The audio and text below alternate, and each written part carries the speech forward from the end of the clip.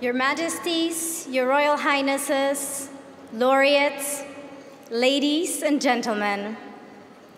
Det är en stor ära att få presentera Nobelpristagaren i fysik. It is a great honor to introduce the Nobel laureate in physics, Professor Geoffrey Hinton.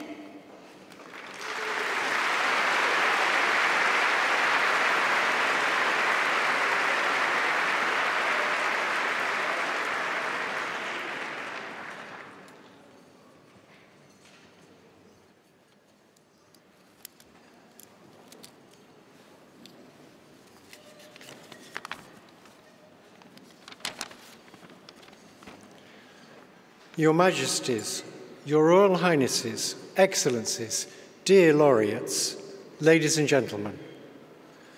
This year, the Nobel Committees in Physics and Chemistry have recognized the dramatic progress being made in a new form of artificial intelligence that uses artificial neural networks to learn how to solve difficult computational problems.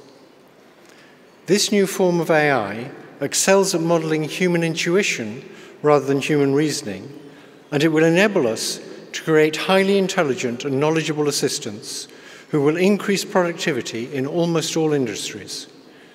If the benefits of the increased productivity can be shared equally, it will be a wonderful advance for all humanity.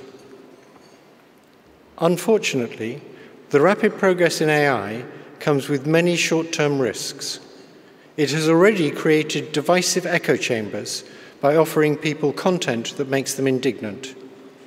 It is already being used by authoritarian governments for massive surveillance and by cybercriminals for phishing attacks.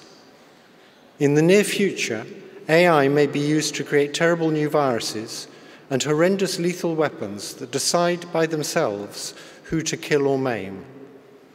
All of these short term risks require urgent and forceful attention from governments and international organizations.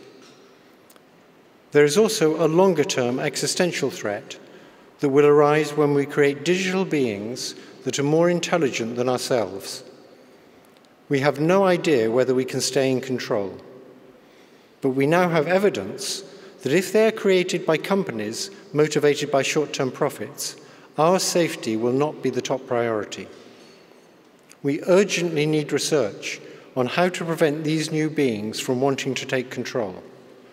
They are no longer science fiction. Thank you.